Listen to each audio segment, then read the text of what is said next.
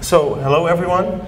Um, welcome at this talk on Grails 3, um, a, a, very cool framework for uh, rapid development of Java web applications. Um, so, first some, uh, yeah, let me introduce ourselves. Um, my name is Koen Aben and this is Ted uh, Vinke. Uh, we both work at a company called First8. Uh, where we are uh, open source Java consultants uh, working with uh, yeah, open source products from, uh, for instance, Red Hat, uh, but also on Grails. Um, so we are core developers and we really like open source. Um, so, but we are also interested in you. Um, uh, can I see some hands on um, how many people are developer in this room? So ev everybody almost. Uh, uh, how many people uh, have uh, experience in Java or do Java development? Yeah. Okay, and, and who has used Grails before? or and, and, who wants to use Grails? well, I think uh, maybe at the end. Uh, maybe at the end. Yeah. so Grails is very innovative. Um, it's um, different kind of flavor of Java framework. It has um, um, very a lot of helpful features that make you develop faster and, and um, yeah, with a lot of more components that, uh, from the open source community that come for free. So, but it's not a choice that uh, it, it, yeah, is for, for every company uh, uh yeah, standard. Uh, but uh, Grails and Groovy are, are increasing in popularity and it's because it's so innovative. Um, so we, we are using... Um, uh, uh, just a moment, does everybody understand uh, English or can we continue in Dutch? English? English? Yeah. Okay, yeah. So um, we um, really like uh, to develop in Grails um, yeah, for all sorts of things. Uh, but last year, um, the people behind Grails has uh, done a new release with um, uh, yeah, all lots of uh, cool features which we're going to present today. Um, so with this talk we'll have two parts. Uh, part one, I will introduce uh, the Groovy architecture and show you why it's so fast and uh, yeah, modern um, way of working with Java. So um, people often say about Java that it is verbose, that it is uh, uh, yeah, difficult in performance, but uh, Groovy shows the other sides of uh, an application that uh, can be run in only, with only one line and also a lot of performance solutions. So um, like health endpoints and metrics, um, but I will also show you the project structure and uh, yeah, see how, how the architectural uh, stuff is combined. Uh, then Ted, uh, uh our colleague, uh, will demo a lot of his yeah, gro groovy features, um, newest groovy features that are really interesting to, to see, um, such as easy tag libraries, um, such as um, yeah, yeah, how domain classes relate to the database really easy um, and how, um, yeah, which is very new for an architecture to have reactor events, um, so uh, new types of uh, actions on the user face, user interface, and uh, Ted will show those. And also uh, he has prepared some integration tests, and those are normally difficult to make, but not, but with Groovy it's a lot easier. So Groovy adds really a lot of magic to the Java platform and it also runs uh, native on, on the uh, JVM. So it's really um, well integrated with Java. It saves a lot of development time. So this is um, a typical uh, uh Hello World application in Groovy um, it, and it will um, provide a web application in only uh, yeah, five lines. So uh, if you program like this, you save a lot of time in Java. Yes? I'm just missing how we got from Grails to Groovy. Uh, Grails is the um, web framework that uses Groovy as, um, yeah, as inner language. Okay. Uh, but you can also use uh, Java inside Grails. Uh, um, but um, it's yeah, Groovy and Grails go hand in hand.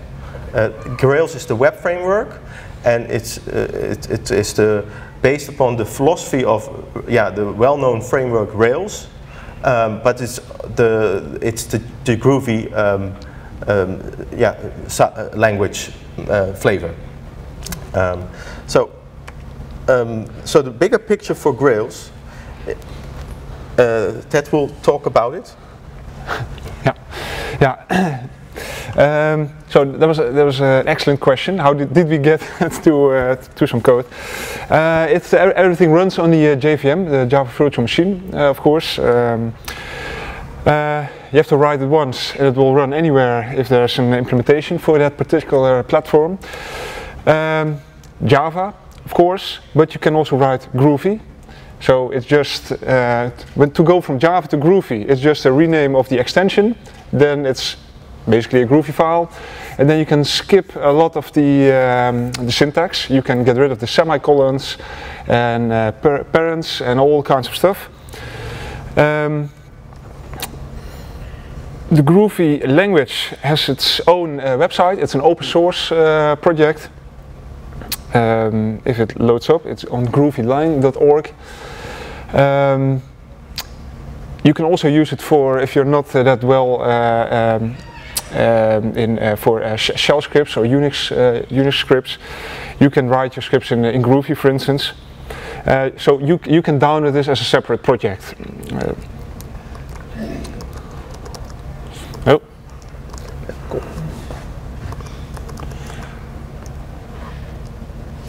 Hier naartoe gaan? Ja. Same browser. Ja. Ctrl 5. ja. Um, Okay, on top of uh, this all we have a Gradle. It's a, it's a build system. It's uh, the successor to, well, some call Maven, uh, which is a successor to Ant. Uh, Gradle is on built in Groovy itself. Uh, Spring, Spring MVC, Spring Boot, uh, Spring everything, dependency injection, and what have you.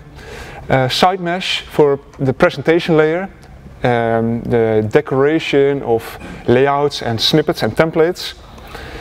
Uh, H2 is the in-memory database, um, which makes for very rapid uh, integration testing. So you don't really have to have a uh, separate database somewhere uh, already. Um, it's shipped within uh, the framework. Uh, GORM stands for Grails Object Relational Mapping, which is built on top of Hibernate. And uh, for those of you who have done uh, Java projects uh, in the past, you might be familiar with just the, uh, these uh, separate uh, frameworks, um, such as Hibernate, which is a very familiar JPA implementation, Java Persistency API. Um, and of course, these all are by its own um, very mature open source projects.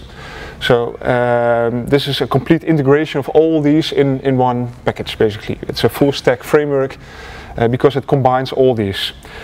Um, then you have to build your own application and it uses uh, convention over configuration. Uh, there are a few main concepts here. The model, which contains uh, basically the business logic. So what is your application about? It's about orders or animals or persons. A few, something has to be exposed to the user.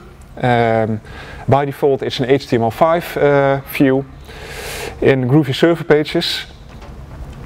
And we have controllers, so it's, it's the MVC pattern, uh, which is uh, quite old, um, which delegates all the user actions from the browser to the, the necessary views and the data and last but not least, services. So uh, services, they um, uh, allow to uh, have everything happen inside a transaction, for instance. Commit everything or roll back everything. And it has a great plugin ecosystem. So um, basically, if it's not in the framework, uh, there's a big chance someone already out there created a plugin for it for you to just um, well pull in and, and use it. Um, like I said uh, uh, in, in, uh, earlier, Hibernate is the default persistency provider. it's an object relational mapper. Uh, but if you're more into a NoSQL uh, stuff, document database or graph database, there's a Neo4j uh, plugin, MongoDB, Cassandra, uh, just basically swatch the persistency provider. And um, yeah, you're up and running with your own uh, persistency. Uh, all by plugins. And of course, this all is in, in the Grails framework. and the website is on grails.org. Everybody's also on the Wi-Fi, it seems.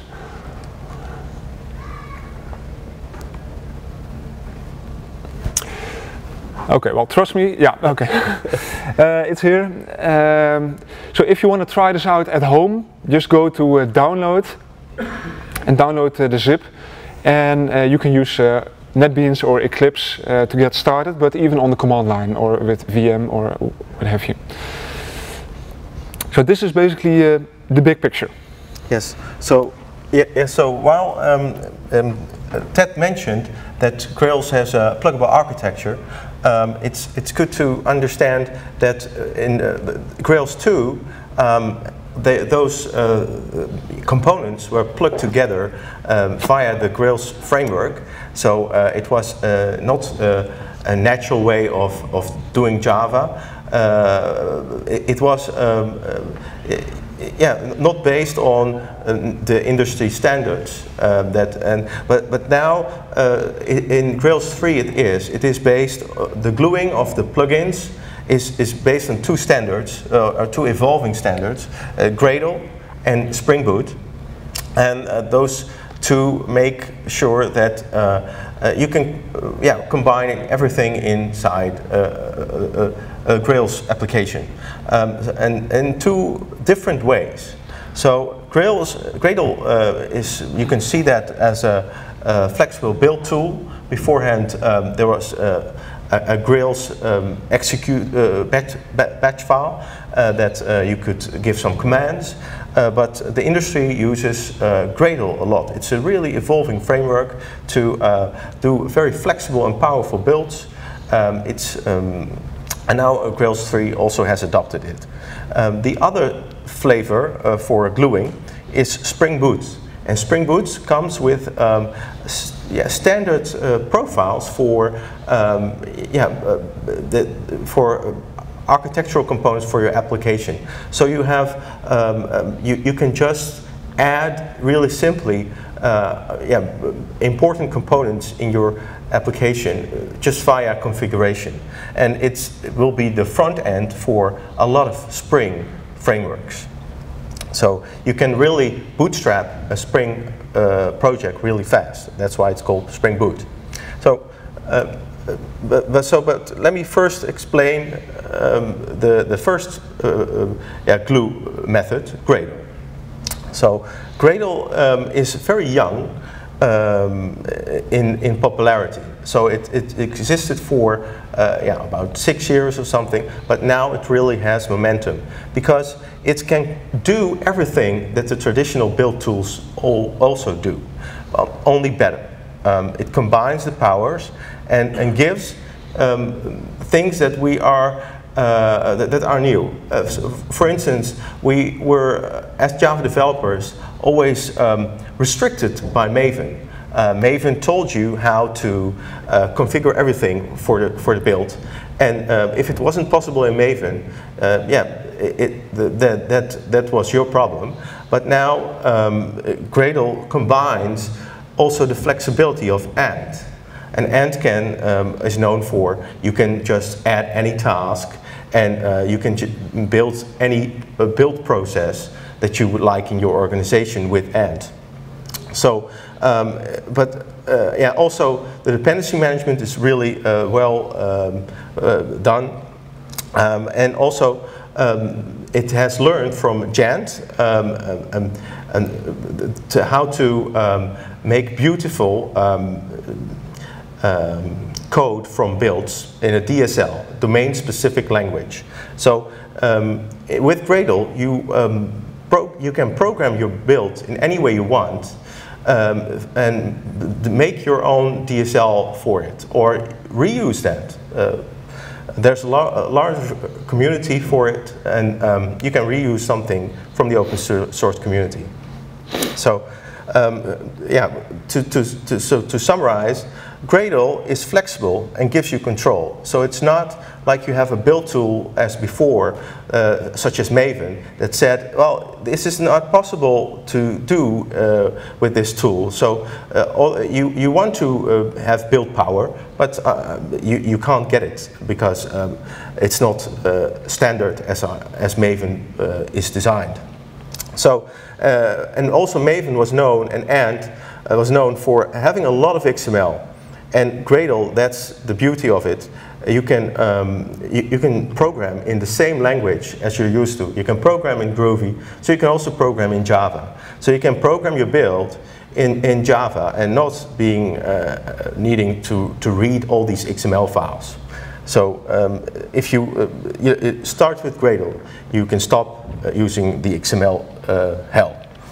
Um, so and Gradle is really simple. It's just one line uh, here uh, that uh, identifies the tasks.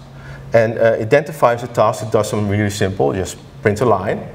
And um, it's, as you can see, uh, it's Groovy code, uh, but the Groovy code is actually translated Java code. So it will, um, it's, it's, so you can make all your Java commands inside the build.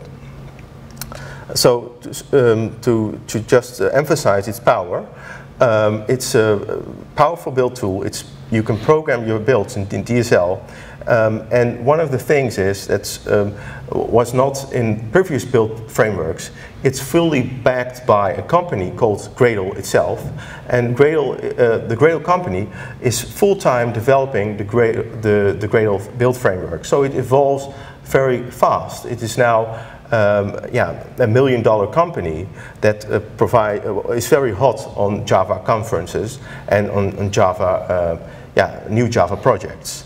So it's a lot better than Maven, which was the standard for build uh, configuration. And it's even used by Google and uh, as a standard. And uh, so every, if you develop for Android, you have to use Gradle. Um, and that's a blessing because you can also you can use uh, you can program a lot better um, um, on your Android devices uh, with that. So if you want to know more, here's the URL for gradle.org. It's really well documented web website with easy examples to get started. Um, but maybe it's good to look uh, at examples beforehand. So how does it look uh, to build in Gradle? Uh, we have prepared um, an application. Um, it's um, it's a, blogging application, but it also shows uh, metrics on, on yeah the usage of the blog. Um, so uh, oh uh, no, I'm going to show you this different application. Um, uh, you can see here, um, it's also the, the project Ted will uh, demonstrate. Uh, you can see here, um, there's a, a Gradle build file. And when I touch it, um, I see all these build tasks here. Um, just like we're uh, yeah, known from Ant, having a lot of tasks. Uh, and I can um, yeah, run a task like uh, building. Um, and then yeah, I can I, I can build something. And um, so you can see here how it processes internally. And um, yeah, here you can see the console uh, um, of the application. So it's really simple uh, to use. Um, it, and um, you just click on something, and you can also do, ask for what are the dependencies uh, inside of the uh, applications, what are the, the, libraries that are used. Small, uh, small addition, uh, this is specifically the Buildship plugin in Eclipse, which delegates to Gradle under the hood. Yes. So it's Gradle, it's not a UI application like this, but this is the, the plugin, so we don't have to leave uh, Eclipse. yes. Yeah. You can also use, um, let me see, you, you, can also use um, it via the uh, command line. Um, I, I stop an application now. It's uh, this application. It's the same uh, application on blogging with metrics, and I can start it just like this with a Gradle boot run. So, and, and you can uh, you can see how um, yeah I can still go back to Maven if I want uh, because I have created. Oh, yeah. Uh, because if I have created um, um, a task here that says I create a Maven POM and, um, and then uh, it will read out all resources uh, used in, the, in this application and so and it writes to uh, the POM file. So that's a, a task. Uh, there are many other tasks you can just program and uh, and have a and, and, and, have the build process in your organization that you like instead of uh, uh, the, the, something that the the the, the frameworks um, yeah uh, dictates. So that's um, really powerful in Grails 3. Um, the other thing Kan je standaard beeld uh, laten zien van Grails? oh, dat doen we straks. Um, so the other things for um, uh, to, for showing the power of, of Grails 3, um, uh, yeah, is, is using uh, Spring Boot, and it's um, um, it, it it comes with combinations of Spring, best practices of using Spring in the um, in, yeah, yeah, in the community, and having pre-configured sets uh, of library. So you, um, you start with Spring Boot and you, you have all these production ready uh, configurations uh, that you can uh, use, uh, but also in um, uh, ways that you want. So it's, it's prepared to make easy to ad adaptation. So it's easy to, um, to adapt to your needs. So it's an instant container for uh, your, your, Spring uh, libraries, uh, usable for yeah, the microservices or um, yeah, smart configuration or Spring security or performance metrics or development such as reloading. So it's a very easy abstraction layer on top of all these complex Spring frameworks. Um, and then comes the beauty out of it, uh, things that you get uh, for production purposes for free. Um, allowing you uh, to be more of a DevOps as a developer, so more in charge of, of the production uh, capabilities of your software. Um, Grails uh, 3 with Spring Boot provides metrics and um, uh, ways to yeah, get feedback of your application in production. Um, so you can be a DevOps. And beforehand, um, yeah, uh, people know that are not, not known to the DevOps concept. It's about um, uh, yeah, operations and developers uh, yeah, are in silos and when something goes wrong in operations, as a developer you um, are yeah, you don't have a, a way of um, uh, you, you, get really uh, um, yeah, bad feedback sometimes and um, yeah, being a DevOps allows you to take control yourself. Um, so how does Spring Boot support um, met with metrics in production? It's some also something also interesting to see. Um, so I have um, small application ready. Uh, I have to um, so this is um, an yeah, yeah, a simple administration tool I made to show some microservices made with Spring Boot uh, for uh, microservices.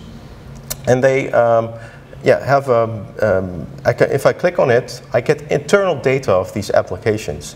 And uh, because Spring Boot allows you to build on the um, yeah, production uh, quality uh, um, yeah, because it, it, it, it gives that data to you.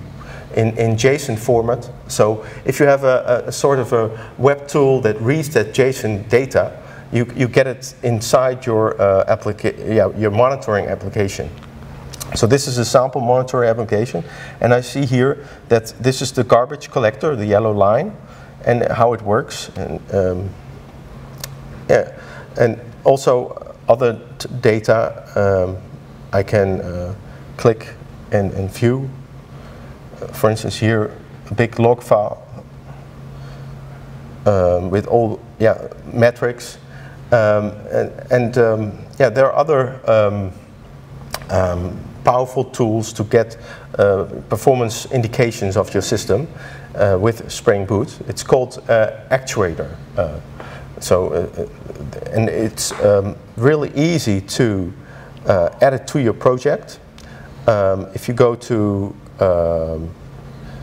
so this is the, an example. It still uses Maven. And you only have to um, add this line to your application, and then your application will be um, uh, yeah, injected with performance metrics.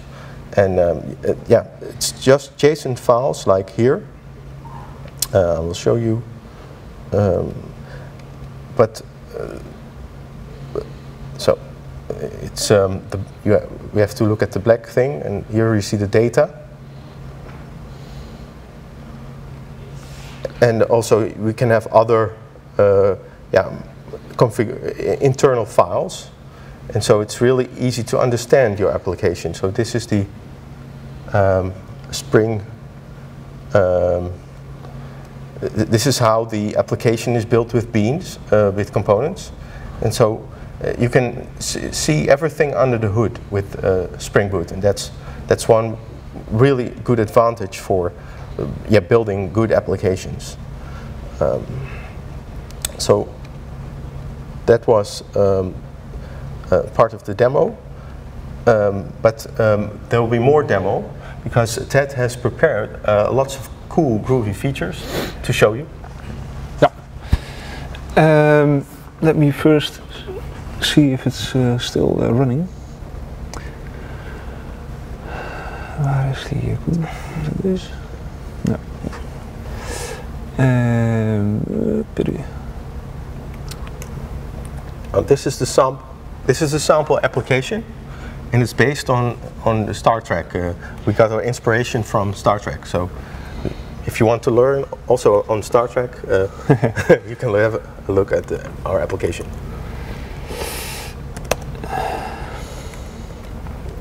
So let me first uh, restart it. Um,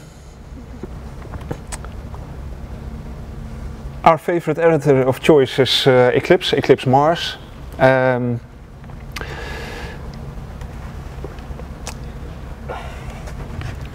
uh, the project uh, structure um, is pretty simple. Uh, you have um, uh, a few files in the root and uh, basically a source where you can have some Groovy or Java sources and tests and the, re the rest is in the Grails app uh, folder.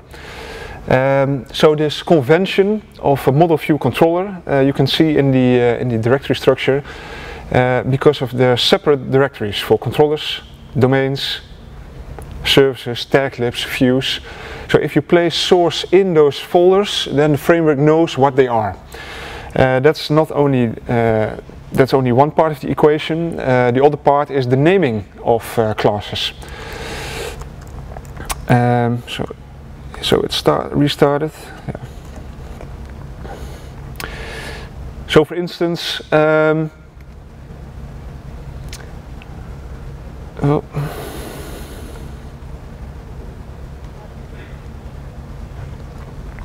Maybe the performance of the internet is too slow. Ja, misschien.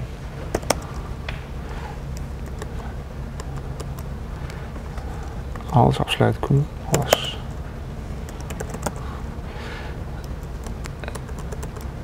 En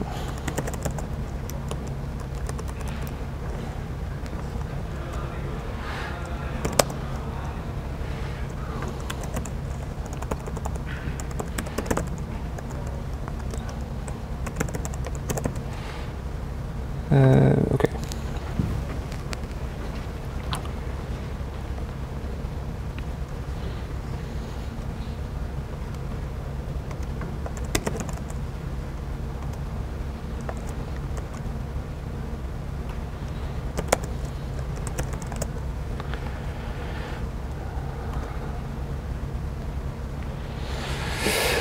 Oké, ehm, okay, um, er is een embedded eh, Tomcat inside. So that's uh, really easy for, uh, for development. So uh, we're waiting in the boot run task now.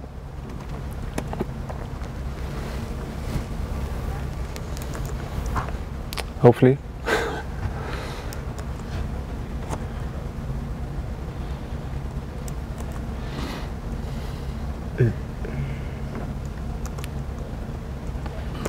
okay.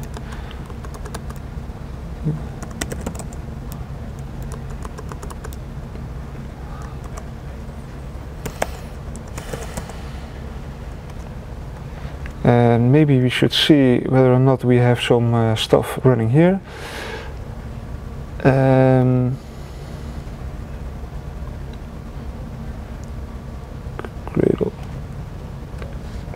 executions.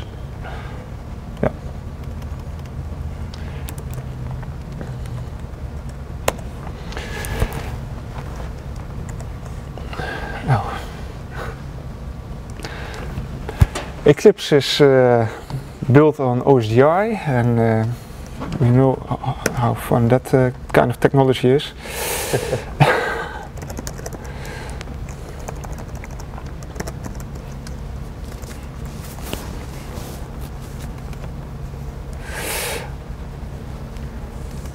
okay, the dashboard.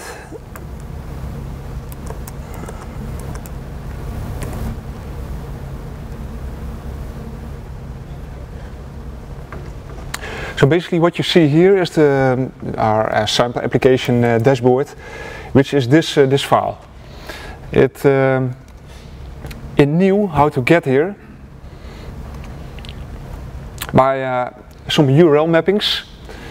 We uh, dispatched the, basically the, the, the, the route to uh, the dashboard controller index GSP. So that's why we end up here. See this, uh, this text is uh, the H1 and the paragraph, welcome to, that's this one. Um, and you see this is uh, kind of similar to HTML with a lot of custom um syntax in between. Um, we're using the, the Twitter Bootstrap framework for some nice grid, grid layout. Um, but you also see here some, some stuff which are tag libraries. We'll get to that uh, in a moment. So basically this part between, uh, which I highlighted, is only shown when you're logged in. And the other part, or this is the not logged in part, and the other part is uh, when uh, you're logged in. So for instance, um, you can uh, add something, uh, caps lock, again,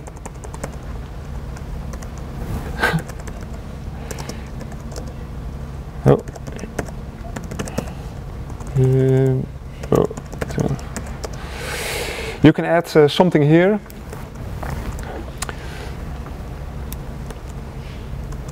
Oh, go back.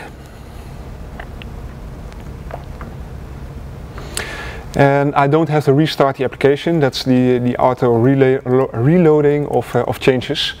Uh, simple changes in HTML or other resources or uh, Java or Groovy uh, code.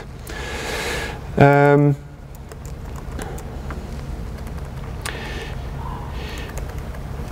the, uh, this, uh, when I try to log in, for instance, as uh, Jean-Luc, two, three. Now the other part is, uh, is shown. It's this part. And you see here, hello, uh, dollar, curly brace, current person dot name. That's this part, that's the logged in person. Um, so how does the page know of the current person variable? Um, because that's not in here, that's in the, this is the view, but we went through a controller and that's the dashboard controller. Let me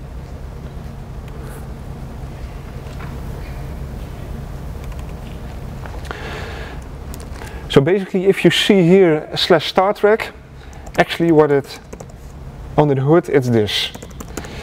This is uh, the URL for the dashboard controller and the index action. That's the convention Grails uh, uses. So that's this class, it's dashboard controller, that's in the name, and it has uh, an action here called index. So this is, uh, well, a regular Java class with some groovy in it because the def keyword. No, Java doesn't know def. It uh, uses void or some other type. Uh, def is new, it's, it's groovy. Um, and that's the syntax here. Because this controller can basically return anything. It can return just a map. You see here, this is just a groovy map with some key values, key value pairs, separated by a comma. Um, we're using Spring dependency injection because this uh, security service is just here um, by uh, some kind of magic and that's just Spring auto-wiring, just by name. So you don't have to type uh, a type here, uh, the Spring service or, or the, the security service or security service impl or something. Just security service will do. The framework will give you that service, the singleton instance, they're all created upon startup, just one instance by default. Well, and the only task of this dash dashboard controller is to check whether or not we're logged in, and we are. Then get the logged in person through this security service and query all the colleagues of the logged in person. And that's basically what you see here all the colleagues of uh, Jean-Luc Picard by this, uh, this query.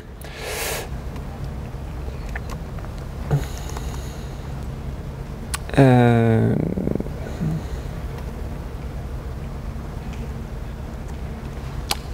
yeah? I have a question. These prefix tags, are they namespace? Yes, yeah. Yeah, normally uh, everything is in the G namespace, G colon something unless you explicitly use another one. Yeah. Um, yeah, the um, dashboard, dus uh, this is the index GSP. So you're referring to this one, sec, and all the tag libs are here in Grails app tag lib. Uh, security tag lib, is this one. Yeah.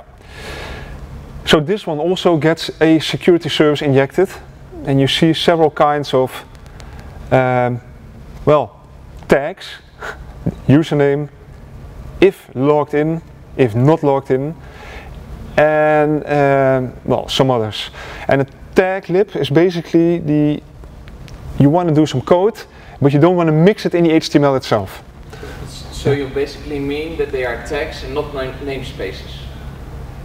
Uh, you can have multiple tags in different namespaces. So you can have the username tag. No, but can I uh, specify that uh, what the tag is in the HTML file, or is it the same from a whole project? Uh, no, no, no. It's not in the HTML file. It's here where you yeah, yeah. define so the yeah. yeah, yeah. This is called sec here. So yeah, you cannot. Um, exactly. um, so you already saw this um, this uh, this reloading. Uh, this current person, it came from the dashboard controller as current person. It's here. This is the model. So under this name we have the logged in person and under this name colleagues we have a collection of colleagues, which are also persons, because that's this one. So if you have a current person, you can um, call whatever you want, whatever property you want on it from the GSP page. Just save it. So now it says welcome back Jean-Luc Picard.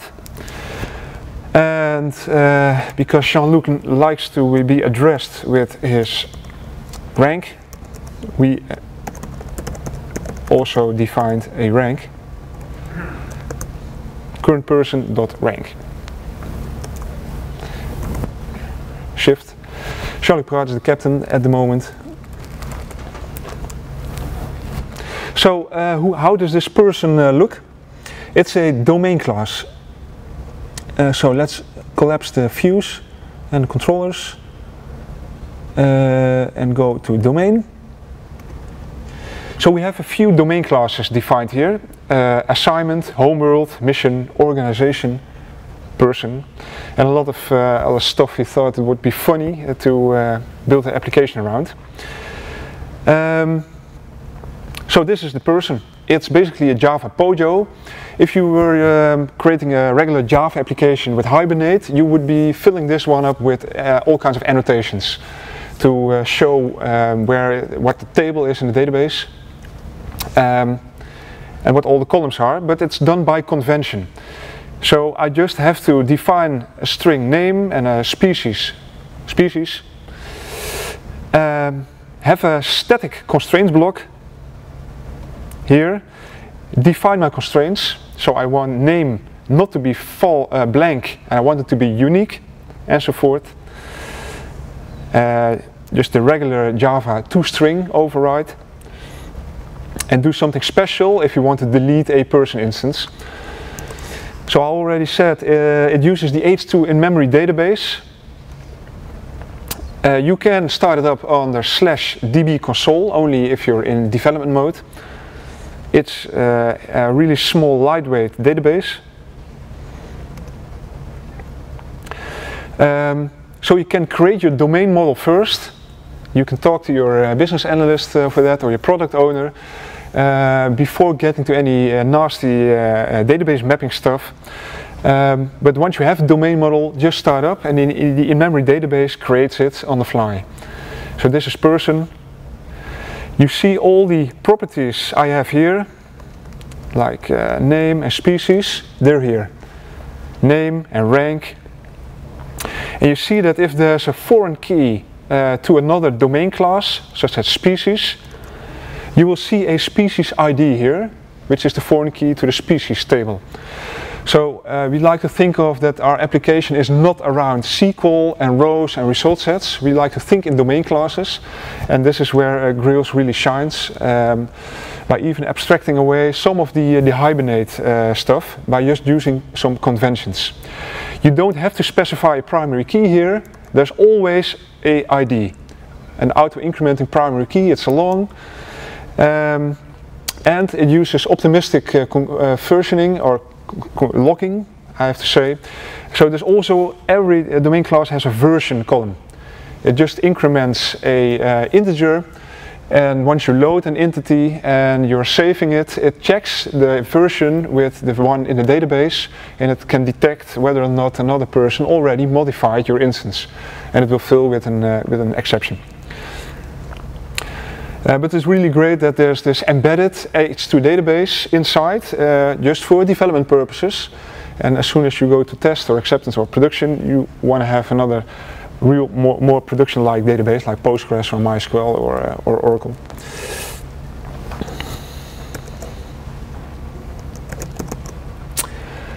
Um, so I get for free some scaffolded screens, scaffolding. That's um, oh, I am of course inside. Uh, so if you want to create some CRUD screens, create, read, update, delete, it's almost for free.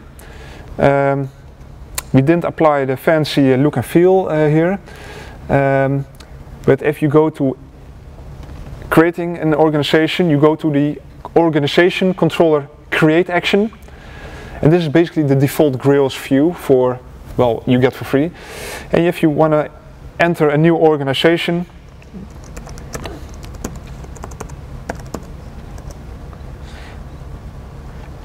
and it's just enter. Uh, I don't have to do a thing basically for that because this is the controller taking care of all this. The organization controller, I only have to say static scaffold is organization, the name of my domain class, and you will get a create action, a delete action, a save action, an index for the overview for free. So if your application is really simple, like a create, read, update, delete application, you're up in two minutes basically. By just defining the domain classes and getting basically all the, the overviews and the, in, and the, in, the input and the output and all stuff uh, for free, which spe really speeds up uh, development. Um,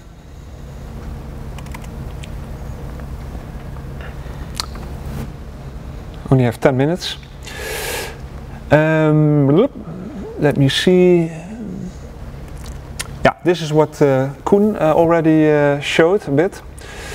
Um, the health check, it's just on the health endpoint. Yeah, you should ignore. Yeah. So basically our general stat status of the application is now out of service. Um, you, it should be up. That's uh, really nice if you uh, want to configure uh, Nagios uh, just for checking the up. Um, then it will, it will use all the individual health checks here to determine the general status. Well, uh, unfortunately it's out of service because I created a particle health. The application uses a particle collector um, and I implemented here a health indicator of my own. I auto-wired the particle collector. As you can see, this is in source main Groovy. It's just a class annotated with add component. It's for Spring. Um, and this is uh, where I try to fix the uh, health check.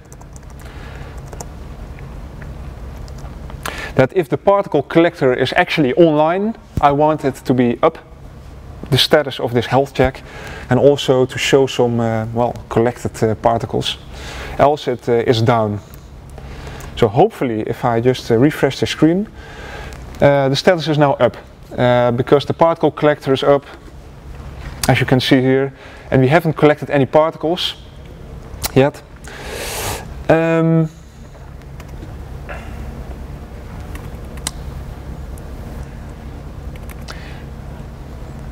so um, the reactor framework, that's a separate GitHub project, it's already embedded in Grails 3 and it uh, allows to send out events and listen to notifications inside your applications. For instance we have a class particle collector and it listens to an event called particle detected by using this on annotation. And this is from the reactor framework. Um, services and controllers already get all these methods on and send and receive and stuff because this is a Spring Bean of my own, I have to implement the events uh, trait. I get on. So now I can basically decouple who is doing something, the particle uh, scanner, which is sending out events, and a class called particle collector, like this one, which is interested in these events.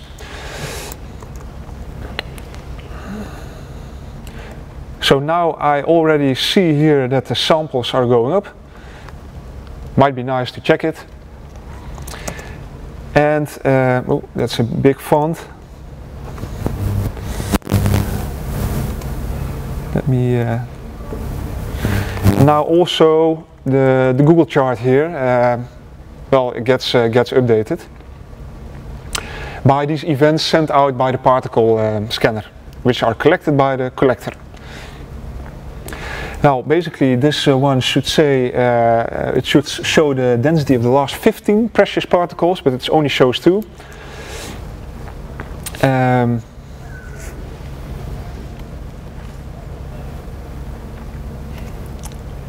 that's here. There's this cartography controller, which um, allows for the chart to get all the data in uh, JSON format and it only uh, returns uh, two, for instance. This is uh, Groovy. Adds all kinds of nifty features on a collection, on the, the, the regular JDK uh, collections. Group by, collect entries.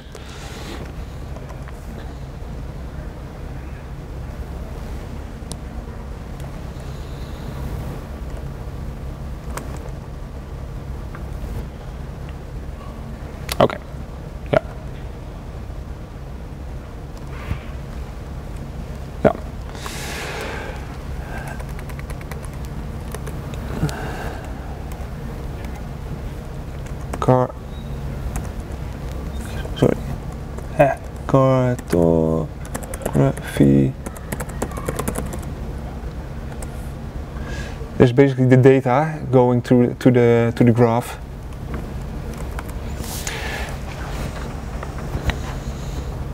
Yeah. Um, oh man, I uh, had so much more uh, I wanted to show you, but we're running out of time. Um, Maybe one or two questions. yeah, that's uh, that's a good one. Um, So does someone has? Okay. so, so does someone has questions?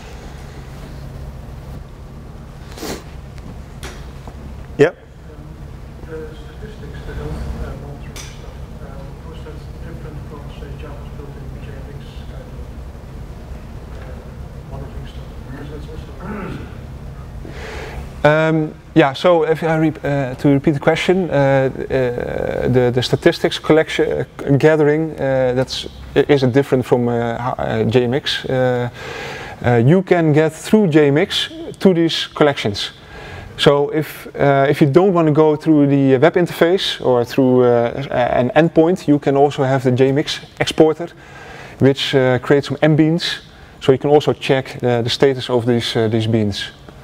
Yeah, so there's part one is actually the collecting of the stuff, of the metrics, and how you expose it. That's entirely configurable. Yeah, yeah. So, uh, well, yeah, the great thing we, we think about Grails is it's built on top of all these great open source frameworks, um, and uh, we regularly, regularly, regularly have to dive into the code to see what actually is going on. If you think there's a bug somewhere, so we can uh, pull something in from uh, GitHub and uh, well, do a pull request if you think this sh- this should be better. So for your reference, uh, this is the sheet with all the links to all the, the projects. It's, it's clickable. I, I think we can get the sheets uh, downloadable. Yes. so if there's uh, if there are no questions anymore, uh, yeah, we'll thank you for your attention and uh, have a nice uh, day. Uh, yeah, thank you.